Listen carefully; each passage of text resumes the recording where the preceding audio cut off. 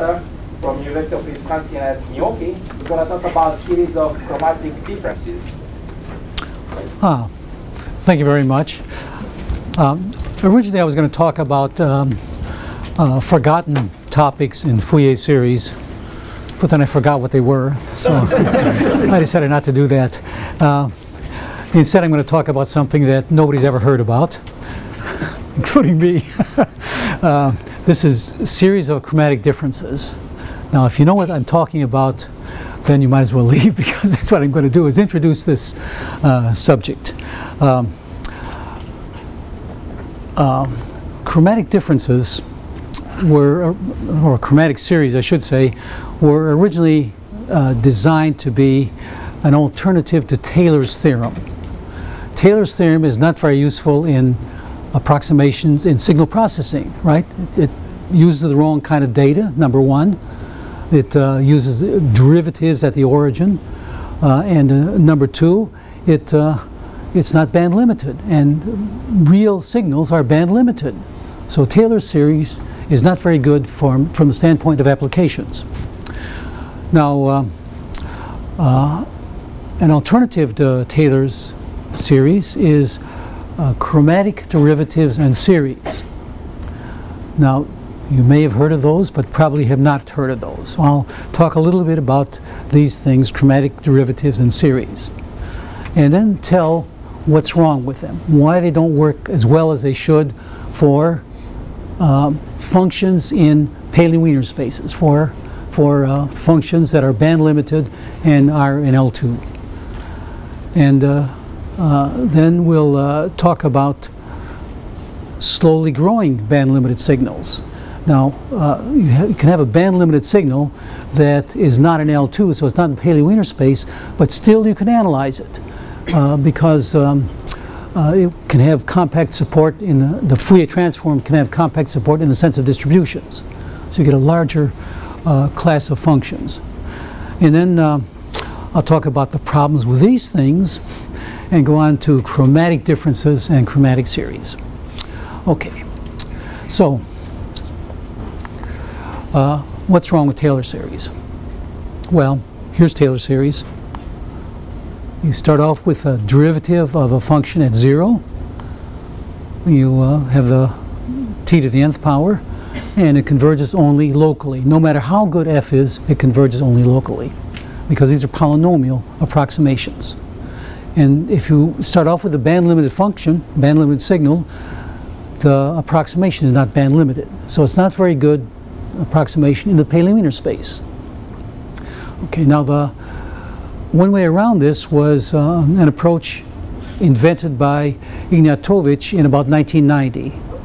He started a, a dot-com organization in California, uh, and so a lot of the stuff he did initially was secret. You know, he didn't want anybody uh, cutting in on his ideas and making money off them before he could. At any rate, uh, what he did is he uh, introduced chromatic derivatives where the nth derivative of a function is replaced by a linear combination of derivatives, a polynomial of derivatives at zero, or the function at zero.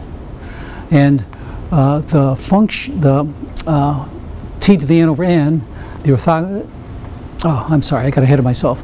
Uh, p to the n of x here is our uh, system of orthogonal polynomials with respect to a weight function, w of x. And the weight, for the most part, we'll assume to be uh, have compact support. So these are classical orthogonal polynomials, or maybe not. They can be any kind of orthogonal polynomials. Okay, now chromatic series, what are they? The Taylor series is replaced by this sort of series, where you take these chromatic derivatives, apply to the function at zero and uh, multiply by this function phi n of t and you get an approximation. So you get an approximation which the coefficients are derivatives and the function is phi n of t and phi n of t is the inverse Fourier transform of the polynomial times the weight function. So it's something we're, we're all familiar with in this room at least. Uh, now the thing is the convergence here is uniform on all of R. If you start off with with f of t a, a Paley-Wiener function, then this is uniform on all of the real lines. So it, it has a property that Taylor's theorem does not have for Paley-Wiener spaces.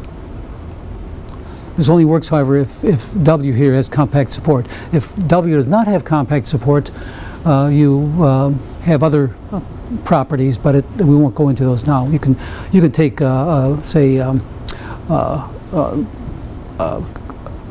Hermite polynomials and get a result for Hermite polynomials, but it's not as nice as it is for, for this one. Okay, that's chromatic series. Now, what do these phi n of t look like? These phi n of t take the place of t to the n in Taylor series. So phi 0, you can see phi 0 looks like this, and phi, one, phi 3 and phi 6, etc. Looks familiar, doesn't it?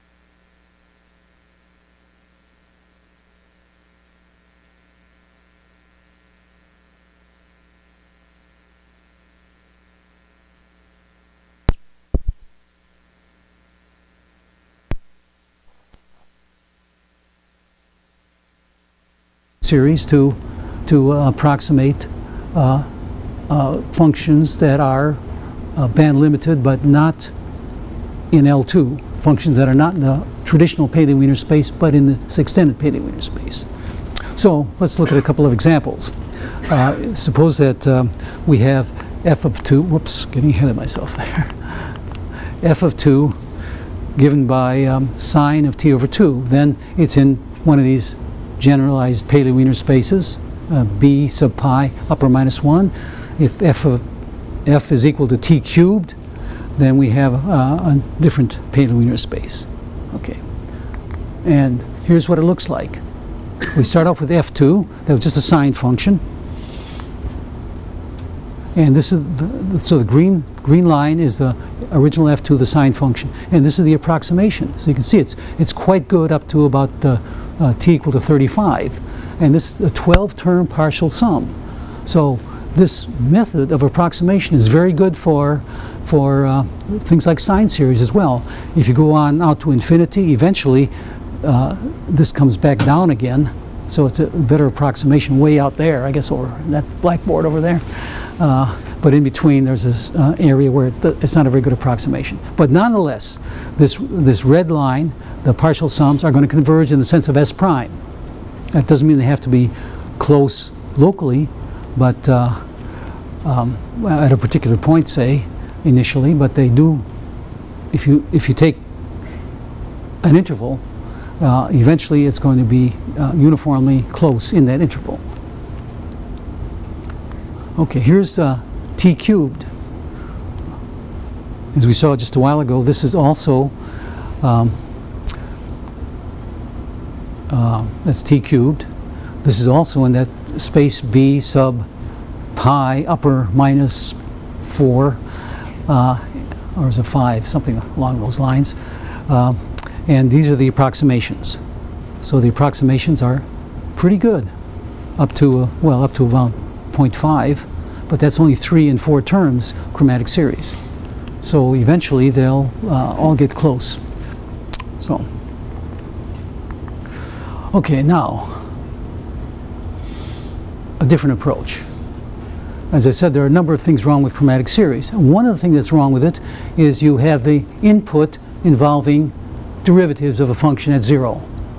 And it's hard to calculate derivatives like the nth derivative of a function at zero, you just using finite differences. So why not start off with something that will give us finite differences instead of derivatives? And so that's what we're going to do here. Instead of uh, uh, working with polynomials orthogonal on an interval, uh, with respect to a weight function on an interval, we look at the unit circle. And we orthogonalize uh, 1z z squared on z equal to 1 with respect to uh, a weight function. Okay, and then we get a resulting orthogonal system, uh, which I'll denote by Pn of z. Uh, okay, so this is um, already in Szegő's book, uh, so it's old stuff. It's been around 100 uh, years maybe. Uh, and what you get then is um, you have the, uh, the polynomials here, c sub, well, whoops, I got, that should have been z sub k up there. c, k, and z sub k, z upper k. Uh, then you get these polynomials, pn of z. You start off with a band limited uh, function h of t, then the coefficients given in this form are the chromatic differences. So it involves the function uh, divided by uh, the function times the convolution of the inverse of the weight function. Now this, this has to make sense in order for this to work. Uh, and evaluate that at k and stick it in here and you get the coefficients. So it involves differences, it involves the values of a function at, at the integers instead of derivatives. So we call these chromatic differences as opposed to chromatic series. Okay, and now we let uh, Cn of t be just like it was before. Uh, this is going to be the integral over from minus pi to pi. Um, these weight functions, of course, are periodic, but we restrict them to minus pi pi.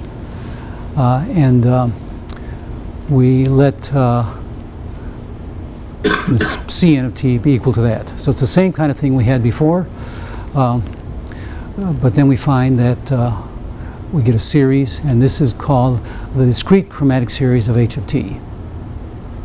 Well, seems pretty good so far. Uh, as an example, let's take this simple one again, where our weight function is the characteristic function of the interval from minus pi to pi, then the polynomials are just z to the n, or on the real line, it's going to be e to the i n theta. And then if we calculate h of t by that formula I just gave you, we get this formula. Looks kind of familiar, doesn't it? it looks kind of familiar, but it isn't, because it's a sum from n equals 0 to infinity. So it's not the sampling theorem. It's half of the sampling theorem. This only works if h of t has is 0 on the negative integers. So we have to restrict ourselves to, um, well, here's the problem it, it doesn't converge in the sense of the Paley-Wiener, Can, the, the series converges in the sense of the Paley-Wiener space, but doesn't always converge to the function that you're, you're trying to approximate. It converges to something else. Okay, now what kind of function is that? Well, um, let's define a restriction now of b pi and um, consider uh, only the ones whose Fourier transform only the functions. Ah, where are we? Oh, getting way ahead there.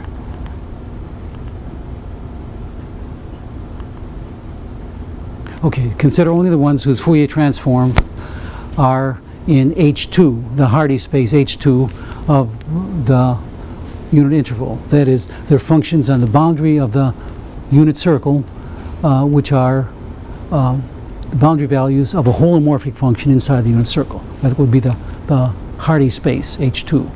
So if we define B sub pi plus to be what you see there, that would be the space for which this um, decomposition works, for which this, this uh, um, series works. Now that's for, for uh, the weight function positive on minus pi pi. If it's not positive, then we have to restrict it some more by making f hat over w uh, uh, in h2 of minus pi pi. Okay, so we have a decomposition of b pi. We have b pi plus and then b pi minus, which is the same kind of thing, uh, except uh, uh, the other way around. Okay. So we get discrete chromatic series, we get uh, convergence result. Here's the, the details. Uh, the, start off with H in this space, G given by the quotient of the Fourier transform uh, divided by the weight function, Pn of z, the orthogonal polynomials, uh, then this inverse Fourier transform of G, Cn is the inverse Fourier transform of this quantity, a is the uh, discrete uh, or chromatic differences, I should say, then this thing converges to h of t uniformly on compact subsets of R. So uh, that's a result for this discrete chromatic series. But it's not very satisfying, is it? Because we always have this condition that uh, uh, uh H has to be in B sub omega or B sub W pi b sub w plus rather than uh, all of b sub pi. So, um, well, let's look at an example first. Um, if we start off with uh, w of theta given by this trigonometric polynomial times the characteristic function of uh, the interval minus pi pi, the so-called raised cosine, then we can find c of t and uh, we can show that Cn of t is just a, a, linear combination. And from then on, it's just a matter of uh, plugging in the coefficients. So we, we can get the convergence very easily for this particular case. In the case of um, uh, weight, something like uh, this, also involving trigonometric functions, but not integers necessarily, then we get uh, Gegenbauer polynomial-based uh, orthogonal polynomials. Okay, now as I said before, this result only holds for b w plus not all of b pi. Okay, now how to get around this? Well, we can use a symmetric weight. If w is a symmetric weight, if w of theta is equal to w minus theta, then we have that Pn of z upper minus 1, Pn of 1 over z is also orthogonal systems on a circle. And then we can combine the two systems by setting P minus n of z equal to uh, Pn of z minus 1, and we get a system uh, of the following. Trouble is, it's not an orthogonal system, but Pn e to the in theta turns out to be a Riesz basis of L2 w minus pi pi. And Cn of t is a Riesz basis of v pi. Okay. Now the problem with that is that uh, the coefficients are, are hard to uh, calculate.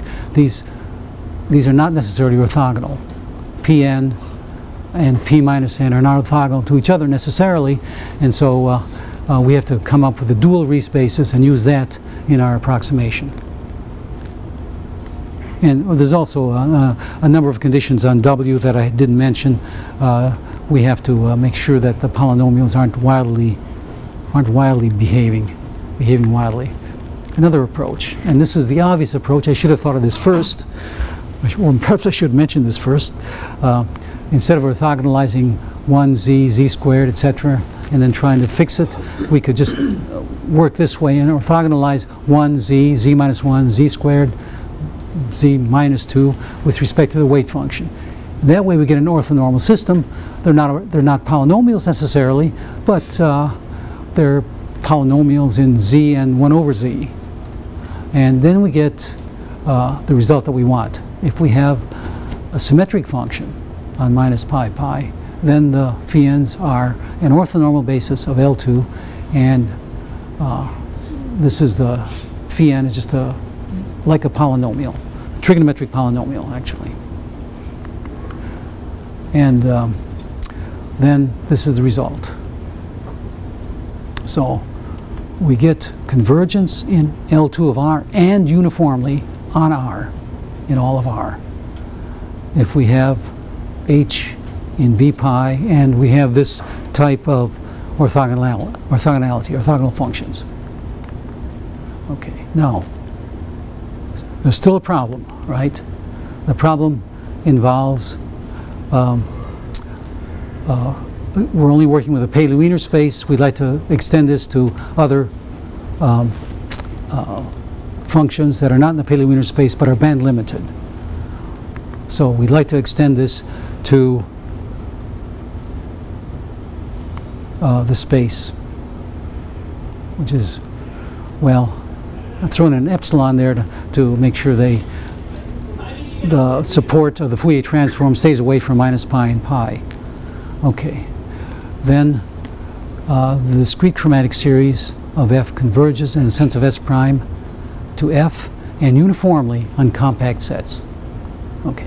Now this particular case includes, um, or does not, I should say, it does not include the Shannon sampling theorem the reason it does not include the sampling theorem is because we're letting the weight be a, a, a trig polynomial which vanishes at a, uh, plus or minus pi.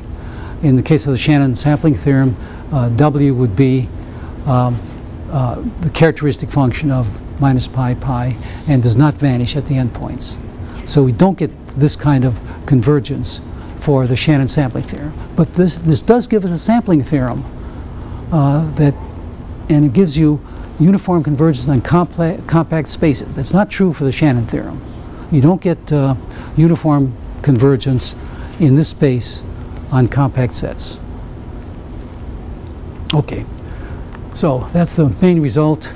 Uh, here's some references. This is uh, the original uh, uh, result that I saw by uh, Ignjatovic came out in IEEE signal processing. Uh, later, he uh, published another version of it, but which is more abstract. I don't like it as much. And then one of my students and I worked on what I've been talking about today. Okay. That's it.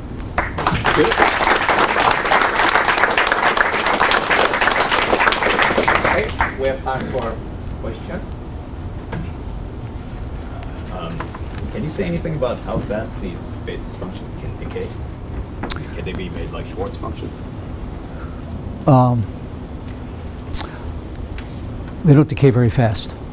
They're, they're, they decay, well, it depends. You know, it depends on how, what the Fourier transform is like. If the Fourier transform is smooth enough, like in this last uh, case I show you, then they decay very rapidly. But in general, they don't, they don't decay too fast.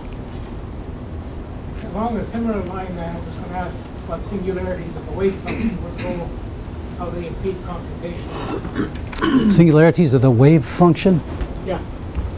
Like, a- lot of the polynomials like have singularities, especially the Gegenbauer and Jacobi and so on. Of course, you didn't consider Jacobi because they don't, they're not even. yeah. Oh, in this last case. Yeah, but, uh, uh, well, the Jacobi polynomials with two parameters the same uh, turn out to be even that's, that's Gegenbauer polynomials. Uh, now, what- what's the problem with the singularities? I'm wondering about the Oh, the the sing- singularities at the endpoint. Yeah. Well, that's that that's taken care of by uh, this condition right here. The fact that it's pi minus epsilon, so everything is is taken away is everything is zero close to the endpoint, so it's identically equal to zero. So that's not going to turn out to be a problem. Okay, um, let's send the speaker again.